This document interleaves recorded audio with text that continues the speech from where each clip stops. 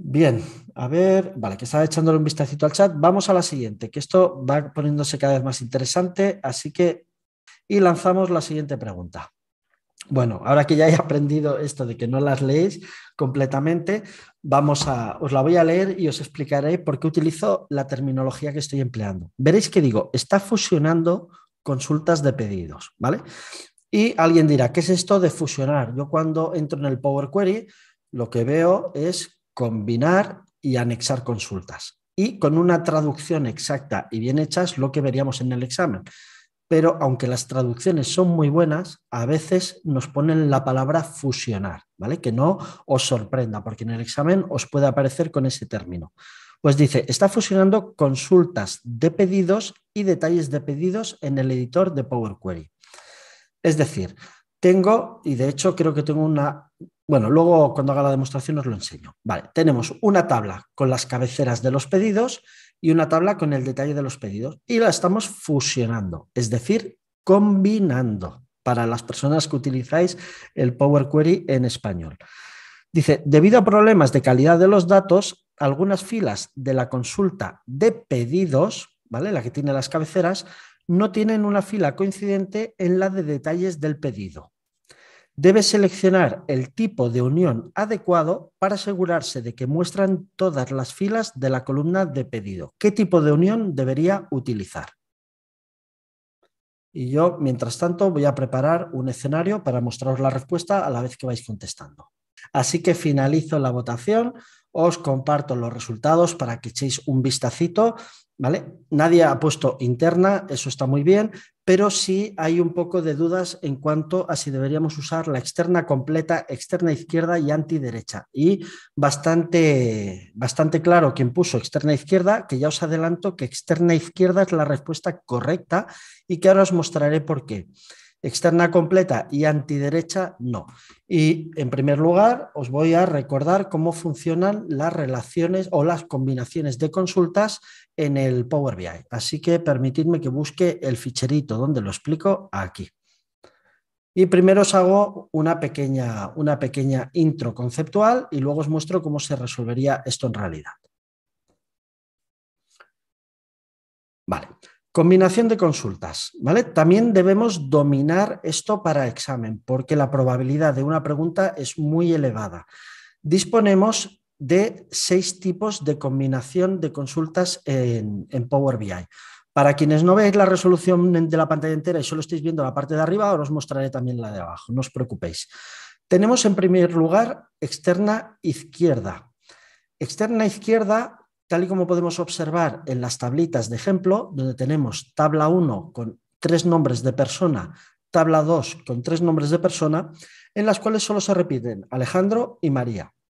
Alejandro y María. No se repiten Carlos ni Carmen. Pues bien, externa izquierda es la, la combinación que nos va a devolver todos los resultados de la primera tabla, todos los resultados de la primera tabla y los coincidentes de la segunda. Así me trae todos los nombres de la primera y los que coincidan de la segunda, quedando como un valor nulo el no coincidente. Externa derecha es justo lo contrario. Voy a obtener todos los valores de la segunda tabla y los coincidentes de la primera, quedando los no coincidentes como un valor nulo. Externa completa, que es una de las que muestra como aparece como respuesta propuesta en esta pregunta, nos va a traer todos los valores de la primera, que en principio podría estar bien, lo que ocurre que como también nos va a traer todos los de la segunda, nos va a generar valores nulos en la primera. En definitiva, me lo estará trayendo todo, todito, todo. Ahora, combinación interna. Combinación interna va a traer los valores coincidentes de ambas tablas, solo aquellos que estén en las dos. Antiizquierda, que esta es una de las combinaciones que no se utilizan muy frecuentemente y es fácil que no la conozcamos, nos va a traer aquellos valores que están en la primera, pero que no están en la segunda. Es decir, omitirá todos los coincidentes. Como Alejandro está en la primera y en la segunda, lo omite Como María está en la primera y en la segunda, lo omite. Como Carlos está en la primera, pero no está en la segunda, sí que lo tiene en cuenta. Y antiderecha es justo el contrario. Va a hacer el mismo procedimiento, pero mostrando solo los registros de la segunda, que es Carmen, que no aparece en la primera. ¿Cómo vemos esto en Power BI de esto? Pues lo vemos del siguiente modo. Vamos allá. Abro Power BI y cuando vamos al Power Query, a transformación de datos, en primer lugar, tenemos que tener dos tablas que queramos combinar, que son estas dos tablas tan sencillitas que yo os estoy proyectando en pantalla, la tabla 1 y la tabla 2. Bien, ¿qué es la primera tabla y qué es la segunda? ¿Viene definido por el nombre? No, no viene definido por el nombre. Lo que va a determinar que una tabla sea la primera o la segunda es que en el momento de pulsar en el botoncito combinar consultas o como aparecía en esa pregunta de examen, fusionar, al combinar consultas para crear una nueva, por ejemplo, yo debo indicar cuál es la primera tabla. Soy yo quien lo indico y yo decido si es tabla 1 o si es tabla 2. Y también decido cuál es la segunda. Si aquí puse tabla 1, aquí la segunda será tabla 2. En esta pregunta de examen están presuponiendo y dando ya por supuesto que sabemos cómo se unen tablas de cabeceras y de detalles. Si no sabemos cómo se unen esas tablas, entonces podemos encontrarnos con un problema para responder. Así que os lo voy a mostrar con un ejemplo donde hay una tabla de cabeceras y una tabla de detalles. Cierro este Power BI, este también, y por aquí detrás lo tenía preparado. A ver, ¿dónde se fue? Aquí. Vale. Este archivo de Power BI, bueno, este, eh, estas conexiones a Power Query que estáis viendo precisamente responden esa pregunta. Cabeceras de pedidos, posiciones de pedidos, ¿vale? Que es equivalente a lo que nos están preguntando en el examen. Y esta es la respuesta, que ahora os la mostraré. ¿Cómo simulo esta respuesta de examen? Tengo cabeceras y he puesto muy poquitos registros para que lo veamos fácil, desde el número 1000 hasta el 1005. Tengo 1, 2, 3, 4, 5, 6. En la pregunta nos indicaban que tenemos todas las cabeceras de pedidos. Y en posiciones de pedidos he mantenido el 1000, el 1001, el 1003, el 1004 y el 1005. Veis que no está el 1002. Estoy simulando lo que preguntan, ¿vale? En la de detalles, que aquí yo la llamo posiciones, nos faltan registros, no están todos. ¿Por qué hay valores duplicados? Se puede estar preguntando a alguien que no conozca estos modelos. Porque esta tabla es de detalles. En la tabla de cabeceras tengo el número de pedido. Un pedido. ¿Qué cliente? ¿En qué fecha? En la tabla de detalles, que es la que estamos viendo ahora y que yo muestro en azul, tengo que en el pedido 1 vendí el producto A y que en el mismo pedido 1 también vendí el producto B. En un mismo pedido hay varios productos, por eso genera varias líneas. Bien, la solución a este tipo de modelamientos de forma general, esto creo que lo vimos en el vídeo de la clase de la semana pasada, aunque no lo recuerdo bien de memoria, consiste en unir estas dos tablas mediante técnicas de combinación. Siempre que podamos hacerlo en el origen de los datos, lo haremos en el origen de datos, en SQL o en donde sea. Pero en este caso, en el examen de certificación, nos preguntan por la solución que se aplica dentro del Power BI. Y lo que yo tengo que hacer para poder transformar estas dos tablas en una sola es combinarlas. ¿Cómo se resuelven estos escenarios? Eh, tal y como está planteado en el examen, lo que se nos invita a hacer es unir a la tabla cabecera de pedidos mediante una combinación de consultas los detalles de la tabla de posiciones. Lo digo bien, si no, no tienen una fila coincidente en la consulta de detalles de pedido, efectivamente. Así que tenemos que seleccionar cabecera de pedidos, pulsar en combinar consultas, voy a hacerlo creando una nueva,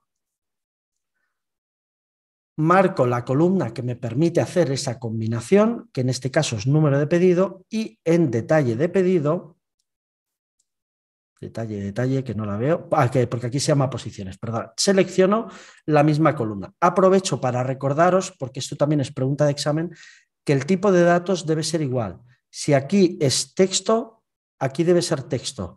No podemos unir texto con número, ¿vale? Deben tener las dos el mismo tipo de datos. Pues bien, en el momento que yo establezco esta combinación, Power Query ya me está advirtiendo que en la tabla de cabeceras yo tengo seis filas y que solo encuentra cinco coincidencias. Es algo que ya esperábamos, porque ya os he mencionado que el pedido 1002 aquí no está. ¿vale? Por un error en los registros de los datos, no aparece aquí el pedido 1002 y nos falta una fila. Y lo que nos dice la pregunta es, ¿de qué forma garantizo, voy a decirlo literal como lo ponía, dice, debe seleccionar el tipo de unión adecuado para asegurarse de que se muestran todas las filas de la consulta de pedidos, de la de cabeceras. Tengo que garantizar que se vean el 1000, el 1001 y también el 1002. Y nos proponen varias soluciones para esto, externa completa, externa izquierda y antiderecha. Para no extenderme excesivamente, voy a mostrar la solución correcta, que es la externa izquierda. Os recomiendo a las personas que tengáis dudas con esto que revisitéis el vídeo donde hablo de combinaciones de consultas y que hagáis la práctica. Así podréis afianzar un poco esto y prepararos mejor para cuando os aparezcan estas preguntas en el examen. Marcando externa izquierda, voy a pulsar el botoncito de aceptar y voy a expandir el detalle de los pedidos. Por ejemplo, voy a poner cualquier cosa de las que tenga por aquí. El producto. Pulso en aceptar y ahora estoy logrando que en mi tabla de pedidos aparezca ese detalle de los productos. Bueno, como realmente la tabla, aunque aquí la habéis visto pequeña, es una tabla con millones de filas, es normal que, tarde eh, unos instantes en poder hacer toda la actualización. Para, bueno, ya está, iba a decir, tenía otra preparada para enseñarlo. Bien.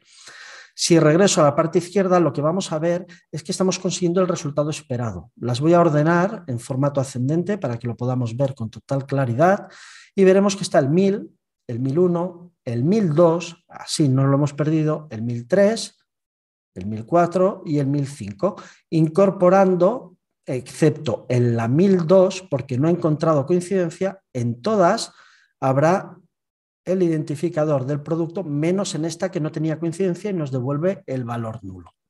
Importante entender muy bien cómo funcionan las combinaciones, porque también son preguntas de examen. Yo recuerdo que en esta nueva edición del examen, toda la parte de transformaciones con Power Query cobra mucha más importancia que en ediciones anteriores del PL300. Así que vale la pena que reviséis estos conceptos si tenéis lagunas. Bueno, todas las personas que han respondido externa izquierda, pues esa es la respuesta correcta.